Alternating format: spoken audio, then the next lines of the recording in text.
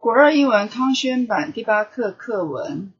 In the classroom, in the classroom. Look at all of the sentences on the blackboard. Look at all of the sentences on the blackboard. What are they about? What are they about? All of them are about mothers. All of them are about mothers. You're right. You're right. Most people have different feelings for their mothers at different ages. Most people have different feelings for their mothers at different ages. Why is that? Why is that? Now work in groups and share your ideas.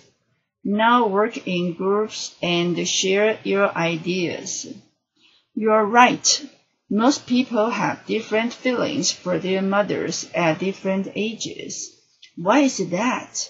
Now work in groups and share your ideas. In Amy's group, in Amy's group, look at the first sentence. Look at the first sentence. Children give all of their love to their mothers. Children give all of their love to their mothers. Look at the first sentence. Children give all of their love to their mothers. That's sweet. That's sweet. But how come the second one says, I have lots of trouble with my mom? But how come the second one says, I have lots of trouble with my mom? That's sweet. But how come the second one says, I have lots of trouble with my mom. Look at us. Look at us. We have our ways of thinking. We have our ways of thinking. So we often fight with our moms. So we often fight with our moms.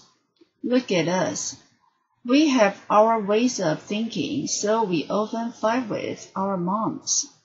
But why does one of the sentences say, Please forgive me? But why does one of the sentences say, Please forgive me? But why does one of the sentences say, Please forgive me? Maybe when they're older. Maybe when they're older. They feel sorry about hurting their mom's feelings. They feel sorry about hurting their mom's feelings. Maybe when they're older, they feel sorry about hurting their mom's feelings. I see, I see. Ah, I really love the last one here. Ah, I really love the last one here.